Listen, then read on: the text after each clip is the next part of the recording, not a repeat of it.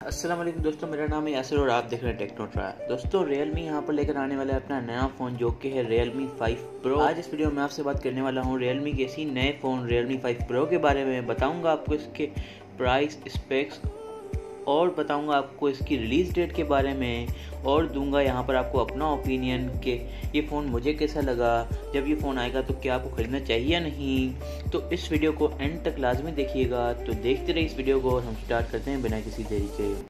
Drop it. यार जो Realme 5 Pro है ये इंडिया में तो कुछ टाइम पहले ही लॉन्च हो चुका है और बाकी कंट्रीज़ में भी ये लॉन्च हो चुका है। लेकिन जो पाकिस्तान है, इसमें ये अभी तक लॉन्च नहीं हुआ है। जो इसकी रिलीज़ डेट है, इसी वीडियो में आपको बताऊँगा कि इसकी एक्सपेक्टेड रिलीज़ डेट क्या है। तो इस वीडियो को आखिर तक देखिएगा और यार स्टार्ट कर, इसके डिज़ाइन डिज़ाइन जिसका आपको फ्रंट में ऊपर एक वाटर ऑफ़ नॉच देखने को मिल जाती है। बाकी ये फ़ोन पूरा बेजिलेस है और बैक पे आपको एक चार कैमरा सेटअप देखने को मिल जाता है, एक फिंगरप्रिंट सेंसर और बाकी बैक इसका प्लान है। तो अब इसके बाद करते हैं स्पेक्स की।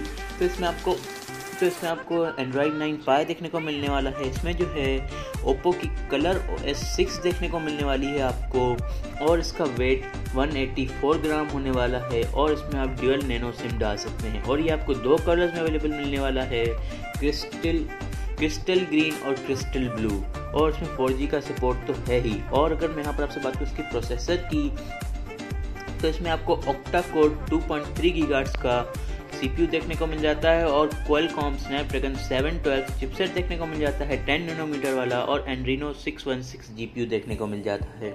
और अगर मैं यहाँ पर आपसे बात करूँ इसकी डिस्प्ले की तो इसमें जो है आपको I P S L C D display देखने को मिल जाता है अब जो है यहाँ पर डिस्प्ले मतलब ठीक है, बेहतर है इसमें। अगर यहाँ पर एमोलेड डिस्प्ले होता तो काफ़ी अच्छा रहता।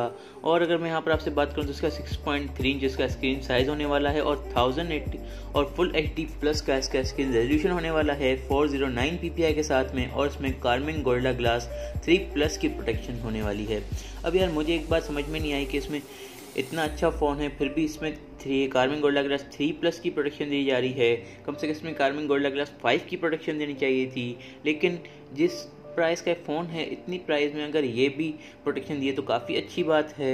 और यहाँ पर अगर मैं आपसे बात करूँ इसकी मेमोरी की तो इसमें आप sixty four G B built in memory और फोर जी बी और सिक्स जी बी रैम देखने को मिल जाता है।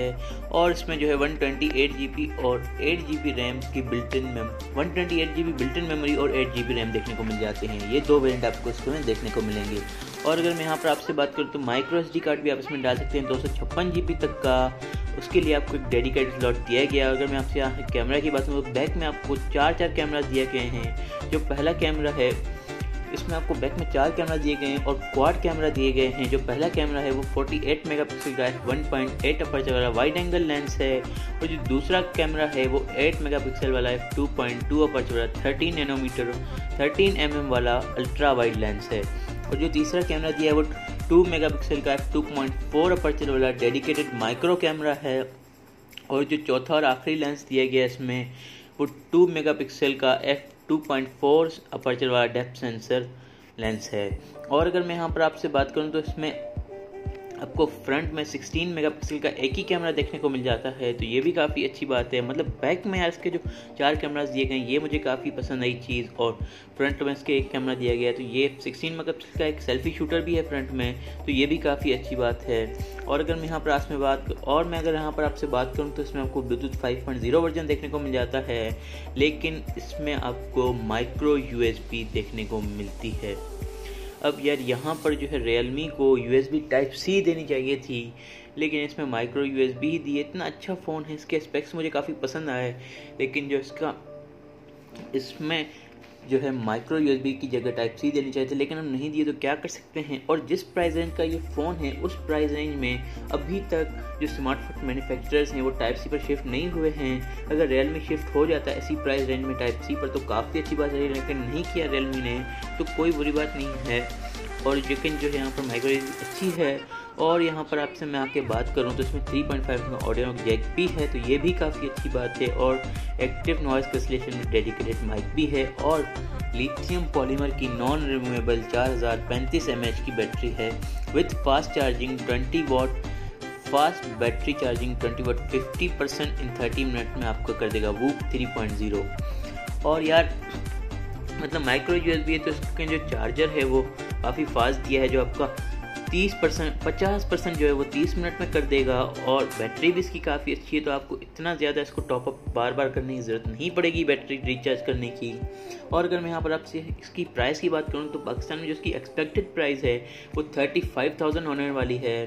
तो ये अभी इसकी एक्सपेक्टेड प्राइस है, लेकिन जब ये लॉन्च होगा, तब पता नहीं क्या पता कि रियल मी इसका ज़्यादा प्राइस रखे। लेकिन जो इसकी एक्सपेक्टेड प्राइस है, वो यही है thirty five thousand rupees Pakistan में।